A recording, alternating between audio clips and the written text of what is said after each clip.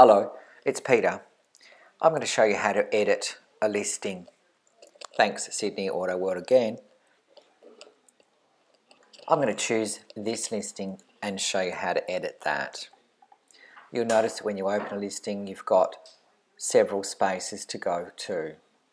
We're in the ad details page here and you can change this text, you can change this text, you can change the price here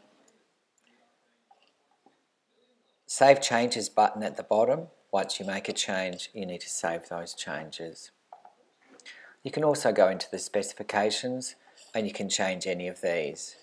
Just click into the box, type in what you need, save changes. In the features page, all the features that are showing on this ad are here with a blue box. If I wanted to take one off, I click on the box, the box would turn red, it would automatically come off the ad. Don't forget, save changes. If I wanted to change photos, I just need to click on this waste bin and that photo would be deleted. Add a new photo down here. Don't forget, save changes.